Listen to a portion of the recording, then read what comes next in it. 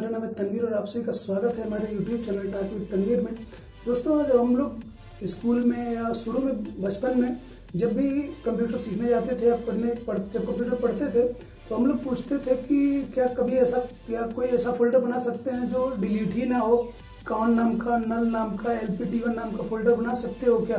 तो ये फोल्डर नहीं बनता था। दोस्तों इस वीडियो में हमारे साथ बने रहिए। हम आपको बताएँगे कि यह फोल्डर और बनाकर भी दिखाएँगे और डिलीट भी करके आपको दिखाएँगे। ऑपरेटिंग सिस्टम में डॉस के अंतर्गत जो CON L P T one null नाम के जो फोल्डर होते हैं, यह विंडोज़ के अंदर पहले से ही रिज़र्व कर दिए जाते हैं रिज़र्व कर दिए गए हैं कि कौन नाम का क्या काम है और नल नाम का काम है एल पी टी वन नाम का क्या काम है, इस तरीके से इनका पहले से ही रिज़र्व कर दिया गया है कि इनका क्या काम सिस्टम नल नाम का, कौन नाम का इस फोल्डर बनाते हैं, इन्हें कीवर्ड कहते हैं और ये कंप्यूटर सिस्टम में विंडोज़ ऑपरेटिंग सिस्टम में डॉस के अंतर्गत पहले ही रिज़र्व होते हैं। इनका एक फ़ंक्शन दिया होता है कि यह किस लिए बनाए गए हैं और यह क्या काम करेंगे? इसीलिए हमारे कंप्यूटर सिस्टम में नल नाम से पी वन कौन नाम से फोल्डर नहीं बनते हैं।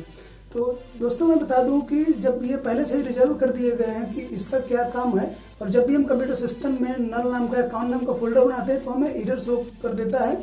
मतलब वो कंफ्यूज हो जाता है कि हम डाटा जो है, और डाटा जो पहले से बना हुआ है, उसके लिए रखें कि इसके लिए रखें। इसलिए हमारे कंप्यूटर सिस्टम में कौन या इस तरीके का फोल्डर नहीं बनता है। तो हमें आशा है कि आपको समझ में आ गई होगी क्यों नहीं बनता है। अब बात आती है कि हम कंप्यूटर सिस्टम में कान नाम का, नल नाम का एलपीटी वन नाम का फोल्डर बनाएँगे कैसे? तो मैं आपको बता दूँ कि इस लिस्ट में आपको दिखाया गया है कि कान नाम का फोल्डर जो होता है कीवर्ड होता है, वो आपके कीबोर्ड और डिस्प्ले के लिए रिज़र्व किया गया। इसी प्रकार से सारी लिस्ट आप देख के समझ रहे होंगे सारी लिस्ट आप देख रहे हैं। दोस्तों चलिए चलते हैं अपने लैपटॉप स्क्रीन पर।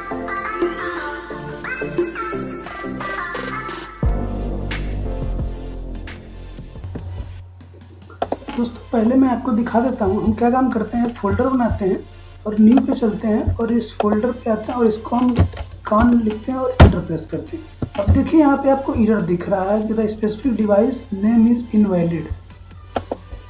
हम एक और फोल्डर बनाते हैं, या इसका नाम एल पी टी वन रख देता हूँ। तब भी ये इरर शो कर रहा है। तो दोस्तों, आप सभी लोग एम एस डॉस या कमांड प्रॉम्प्ट के बारे में जानते हैं। इसके लिए हम क्या काम करेंगे? यहाँ पर रन पे आएँगे और कमांड को ओपन कर लेंगे। ओपन करने के बाद अब जिस भी लोकेशन पे हम बनाना चाहते हैं, कान नाम का फोल्डर सबसे पहले हमें उस पाथ को पाथ पे जाना होगा। तो अभी हम, यहाँ पर हम पाथ अपने पाथ पे चलते हैं।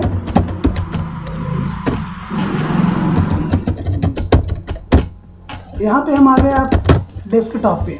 अब डेस्कटॉप पे जाने के बाद हमको लिखना क्या होगा? जिस प्रकार से हम लोग फोल्डर बनाते हैं एमडी नाम से एम डी लिखेंगे स्पेस देने के बाद कॉन और कान स्लैश पर इंटर प्रेस करेंगे। थोड़ी देर वेट कर लीजिए, या आप क्या काम करेंगे, एक बार रिफ्रेश कर लीजिए। जैसे रिफ्रेश करेंगे, आपको यहाँ दिख रहा है कि यहाँ पे कान नाम का फोल्डर बन गया। चलिए हम इसको डिलीट भी करके देख लेते हैं एक बार। राइट क्लिक करके यहाँ पे डिलीट पे जाएँगे और यस कर देंगे। देखिए, अब ये डिलीट नहीं हो रहा है। दोबारा ट्राई करके देखते हैं, फिर भी डिलीट नहीं हो रहा है। अब हम क्या काम करते हैं? अब डिलीट करने के लिए, फोल्डर को डिलीट करने के लिए हम लोग आर डी कमांड पढ़े हैं। अब हम क्या काम करते हैं? आर डी स्पेस कॉन और इंटर। एक बार रिफ्रेश कर लीजिए। अब आप देख रहे हैं कि हमारा कान फोल्डर जो है वह डिलीट हो गया है। चलिए मैं और बना के दिखा देता हूँ। एम डी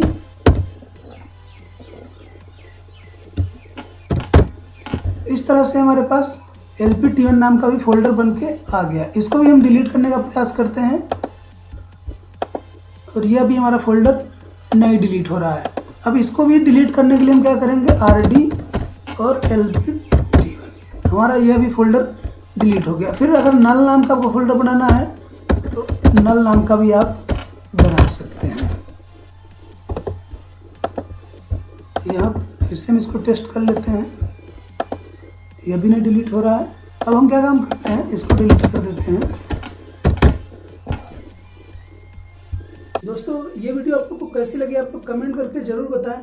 अगर आपको ये समझ में आ रहा होगा, और इससे अगर आपको फ़ायदा हुआ है तो आप अपने दोस्तों को ज़रूर शेयर करें।